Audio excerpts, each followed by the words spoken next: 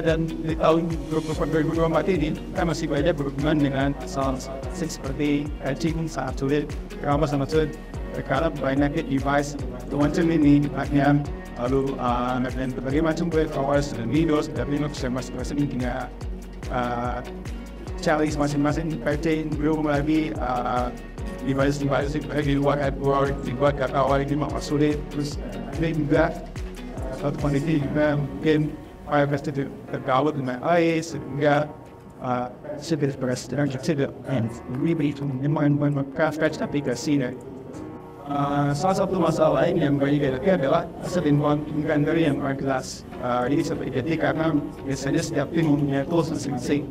Uh, jadi ada database dan setiap tools tersebut menjadi apa yang berbeda-beda misalnya tidak untuk uh, jadi tim ini terjadi adalah dari tim saya dari tim vulnerability mempunyai capacity maka dan data yang dipunyai oleh tim infrastruktur tidak bisa semua urus, buat habis tidak belum dan lain sebagainya. Belum lagi ada tools lain dari asset management. Uh, dengan data yang tidak reliable ini, tentunya akan mempersulit tim IT untuk membuat atau membuat sebuah website. Ini bisa jadi dengan sesimpel apakah semua server digital saya crash apakah saya yakin harus berusaha dengan itu? Kalau data yang kita punya tidak uh, reliable terupdate itu juga akan mempengaruhi ini semua. Mulai nanti apa sebabnya ya apa apa yang menyebabkan ini terjadi? Yang pertama adalah domain itu terlalu banyak tools tiap tim tentu punya tools masing-masing. Masa ada tools sendiri di security ada tools sendiri uh, juga di operation di operations ini sangat wajar karena sebenarnya semua orang pengen best of best tools nah dan ingin dan mereka yakin semua tools yang seperti ini akan mempermudah kerja mereka. Dan inilah yang terjadi saat ini karena saking banyaknya tools itu dan masing-masing mempunyai uh, sendiri database sendiri uh, mereka mempunyai uh, cara kerjanya masing-masing. Belum lagi ditambah capacity dengan network yang banyak uh, belum kita yang di cabang A, cabang B, tentu ada challenge juga di hubungannya network. Bisa jadi pada saat pertama server A ada teman aku credit management scan dan ada support apps dan aktif dan itu juga sebaliknya ketika vulnerability scanning running mungkin server itu sudah tidak aktif atau ada masalah dengan connectivity antara server dan uh, apa dengan solutions dan sebagai servernya sehingga uh, ketika ini semua seiring berjalannya waktu tentu yang terjadi akan banyak terjadi adalah uh, ada mungkin ada endpoint yang missing karena di A ada, tapi di tools B ada. Kemudian juga ada hijau ini akan menyebabkan uh, conflicting data sehingga kita ketika terjadi sesuatu atau mungkin sesuatu pertama uh, zero hits menggunakan tindakan uh, tidak yakin anda tidak mungkin untuk take action. Yeah.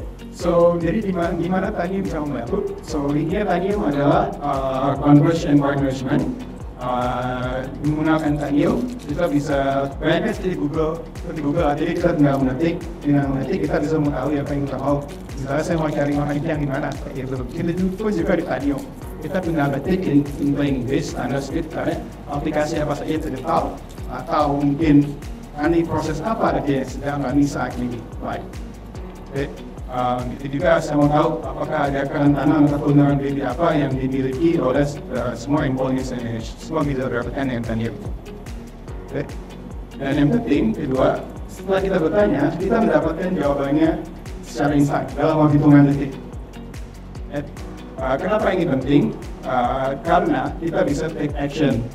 Uh, dalam hitungan detik, tadi ini menjadi sesuatu yang krusial terutama apabila sedang terjadi uh, suatu terroris atau mungkin ada isu yang lain atau tiba-tiba ada attack, ada ransomware yang mengenai uh, semua endpoint maka kemampuan kita untuk take action akan sangat uh, tergantung seberapa cepat kita bisa take action. Eh, uh, setelah kita tahu jawabannya, artinya kita bisa action, action itu bisa kita proses, bisa mungkin device yang membutuhkan atau bahkan install applications, uh, apply patch, atau bahkan kalau mungkin timnya sudah punya custom script yang sudah disiapkan juga kita coba kurang kalau ditanya. Question is that uh, if you look into this this slide itself, right? Email is the number one threat vector and this has not changed for the past 20 years. A lot of the emails are, a lot of the threats are actually delivered via email, so emails are the number one threat vector. Now, the second thing that people are talking about today is actually identity. Right, if you look into some of the recent data breach, right, for example, one has a very big cloud uh, database vendor, right, they actually have a data breach and it's actually also the surrounding uh, identity itself. If you think about it, right, for attackers to go into your network, in order for them to move around, what do they use? Account. What is account? Identity. Who, who does the identity belongs to? You and me, and we are human, right? Human centric. And then the next big thing that people are always concerned about is actually data loss. Data doesn't move by itself, right? Data got stolen. Data got leaked. Who stole the data? Who leaked the data? Against this user, right? It's people like you and me. Against this is a human. So human play a very big part when it comes to uh, these are the cyber detection and protection. Now the question comes, what do we mean by people-centric security? When we talk about people-centric security, the first thing that comes into mind is always security awareness training. Train the user. It's not wrong, but that's not the only thing. What's the next thing? Then people will say, oh, user, so we put in more endpoint control, put in more security control. But again, that's not that's not all, right? Because training of users, and forcing of control, we have been doing this for the past many years. But why are we still having security breach? Now, if you look at this, right, there's three people in the slides. Research scientists, miners, and support contractor. In this room itself, we also have different roles. We have managers, we have engineers, we have management people, right? All of us play a different role. What this means is that the things that we do are different. Our responsibilities are different the impact to the organization if we are if our identity are being stolen are different.